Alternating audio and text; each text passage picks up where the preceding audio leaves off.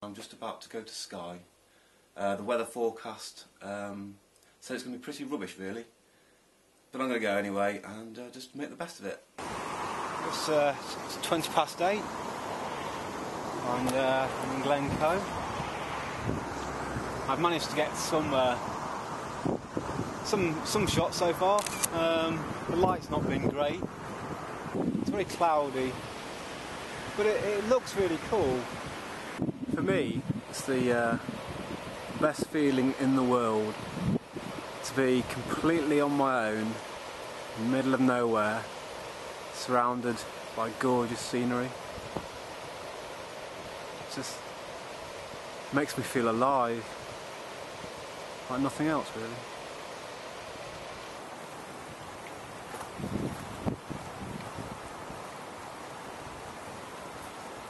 Wait, The way that I'm thinking at the moment is that all the angles that are shot of Ali and Alinian, Ali and Donan Castle um, are going to be the obvious angles, the ones that uh, are easy to shoot, um, the ones that have been laid out for people, uh, i.e. the viewing points and the car parks and the bay. So I'm kind of wandering through the woods, um, trying to find an angle that other people don't get.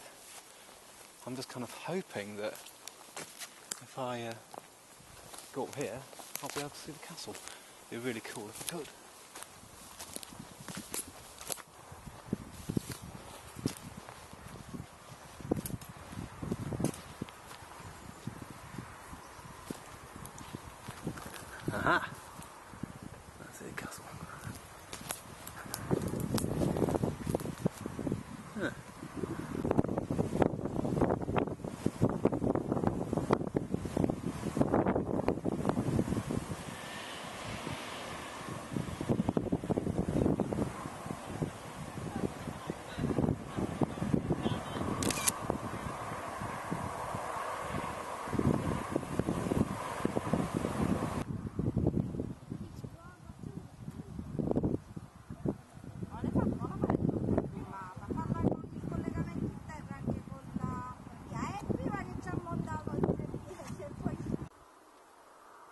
To the Old Man of Storr.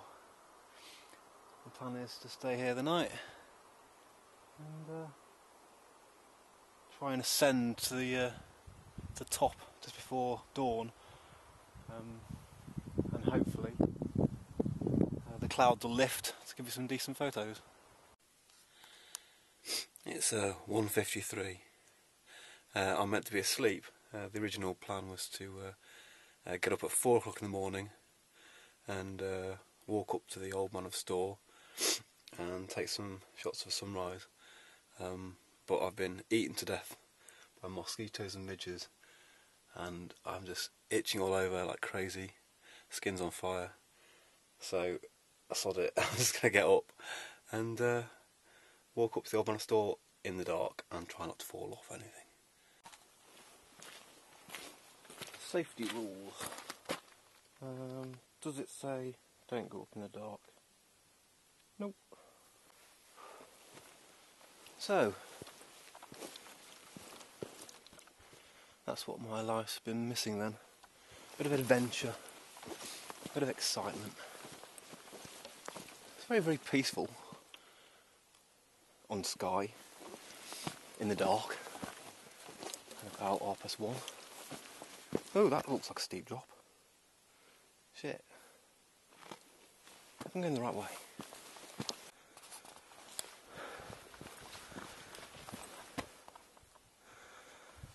I don't seem to remember it being like this before. I think uh, been a new path built, or being built anyway.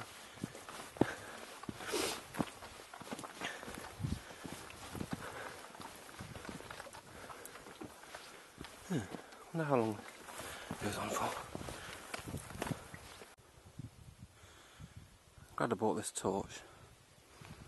It's nice to be able to see Well, the weather forecast says that it should be uh, sunny from uh, 6 o'clock to about 10.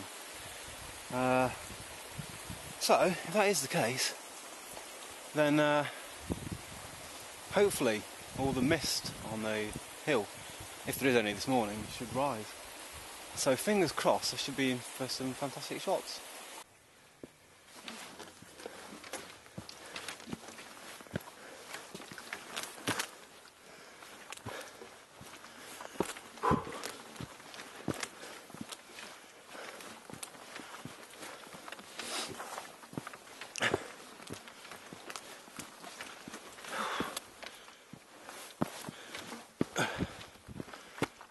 But it's dark and it's raining, and uh, a steep drop there. Um, so I'm kind of following a sheep path. Um, I would kind of like some more light because it feels like it's getting a bit dangerous. I keep forgetting I uh, I'm not good with heights. It's only uh, when I'm on something really tall that I remember and think, shit, fog's coming down. I'm stuck on the side of a hill in the dark, and I'm now in a cloud. I think I'm gonna stay put. Whose crazy ass idea was this anyway?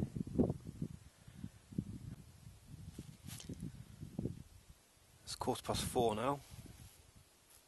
The clouds have descended. I'm stuck on a hillside in a rather chilly ball of cotton wool. This has ceased to be fun. I'm cold and wet and tired. Why do I do this again? Oh yes, apparently I'm going to get some amazing photo at the end of it. Hopefully, hopefully, make it worth it. We'll see. It's uh, quarter past five. And, uh, oh, the fog seems to be lifting and some light seems to be coming on.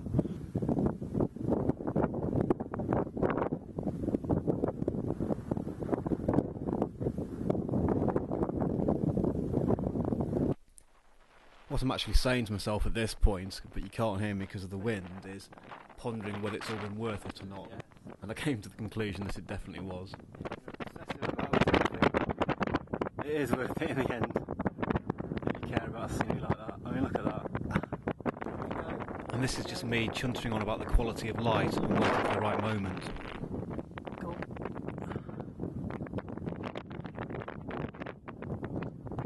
As if by magic. Illuminate.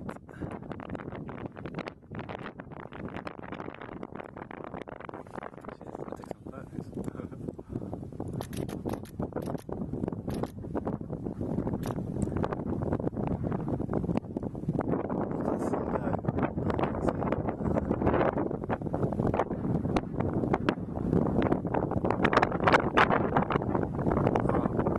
Does Can't get bored of that, can you? Whoa! Say I'm uh, rather happy and uh, somewhat relieved an understatement.